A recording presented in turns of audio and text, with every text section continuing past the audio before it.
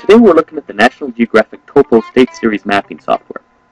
The mapping software contains topographic maps of an entire state, in this case Utah, and allows users to customize and print maps so that they can use wherever they want.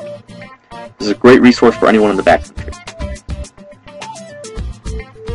There are a bunch of tools to help customize a map, found up here in the toolbar.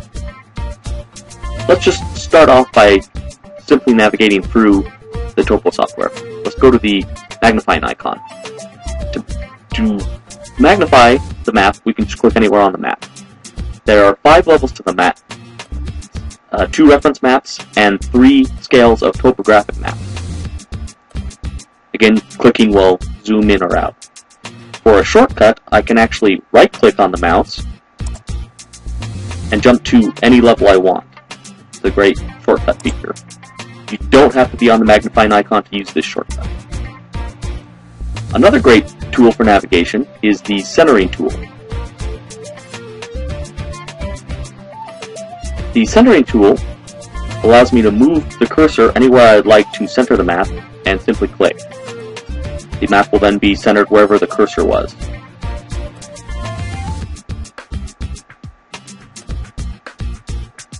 For me personally, the easiest way to navigate is through the traveling tool.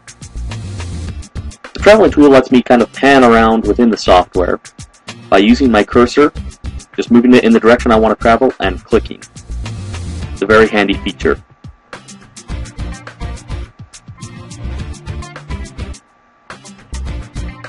Again, while in the traveling tool, I can right click on the mouse to jump zoom levels.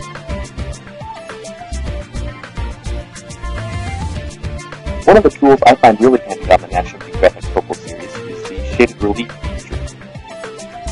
The Shaded Relief feature adds depth to the contour lines and helps me see the topography a little bit more cl clearly.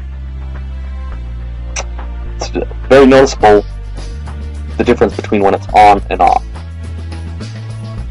Now if I want to add uh, latitude, longitude, or UTM grids, I can go to the grid settings and click on that.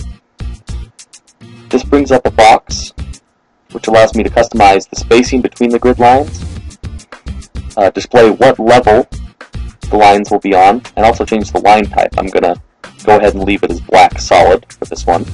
But when I click finish, you'll see the grid lines come up.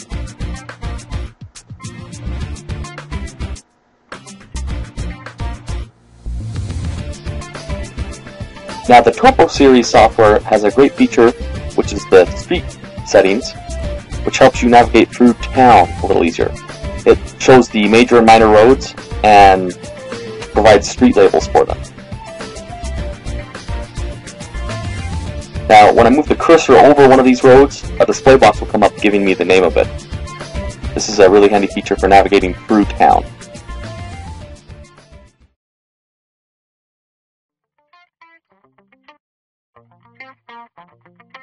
Of the most useful tools in the National Geographic Topo series software is the route tool. The route tool allows me to trace out a route that I plan to take in the backcountry.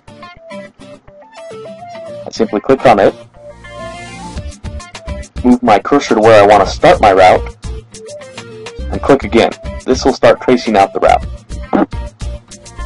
Now if I make a mistake somewhere along the line, to erase, I simply right click and move the cursor back to where I think I have not made a mistake, and then release the right click and continue tracing out the route.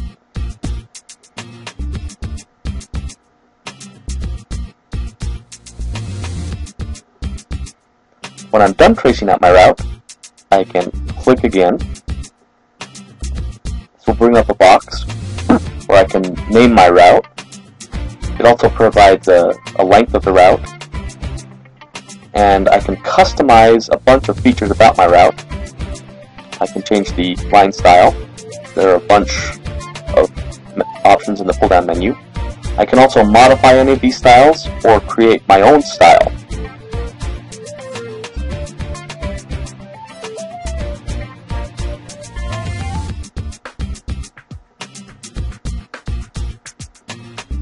Now I can change the line color. There several to choose from here in the fold-down menu.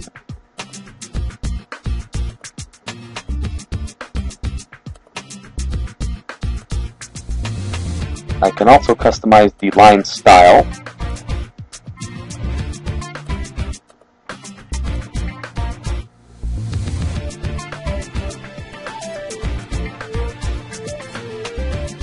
Additionally, I can control what map level the route is displayed on. And when I move my cursor over, it gives me the name of the route and the distance. I can also right-click on that and build an elevation profile of the route.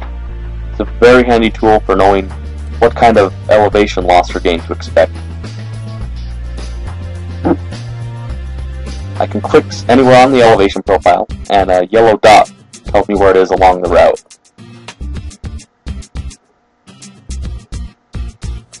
Go ahead and pull that down. Also, when I highlight the route and right click on it, I can do a 3D flyover. This is a really cool feature I love. It brings up a viewport and slowly walks you through the route that you just plotted.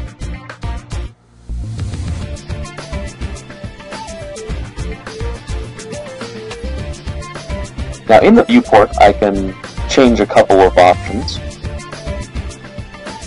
For starters I can have the walkthrough go a little faster. If this is a little too slow for me I can increase the speed of the walkthrough by moving the toggle forward on the speed. As you can see it goes a little faster. Also in the viewport I can spin 360 degrees so you get a good view of the surrounding terrain.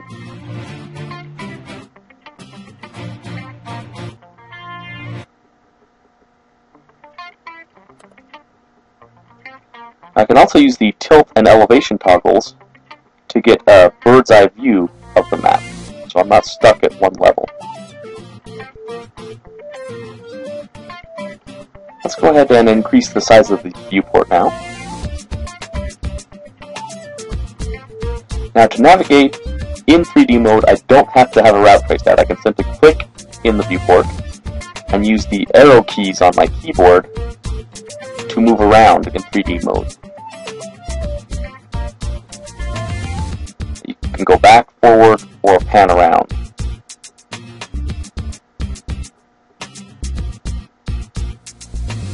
There are several more options in the Options tab. For starters, let's try exaggerating the terrain a little more. Let's take it up by a factor of 2. Now, when you do that, you have to get out of 3D mode for any of the changes to take effect. When I go back into 3D mode, you can see that the terrain is much more exaggerated. The map's pretty small right now. You can actually see the edge of the map currently. I can increase the size of this. Pretty easy. Go back into the Options tab. And then change the size of the 3D map to larger. Again, none of the effects will take place until I get out of 3D mode and go back into it. Now, with the larger maps, they do take up more memory, so it takes a little longer to load maps.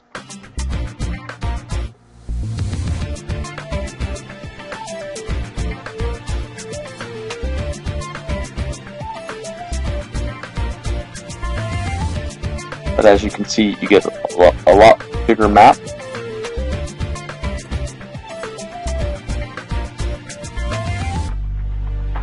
the 3D mode. It is definitely one of my favorite features of the software.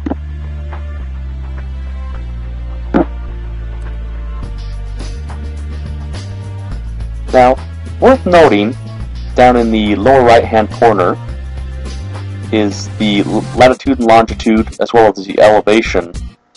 And these correspond to wherever my cursor is. So whenever I move my cursor, those numbers will change.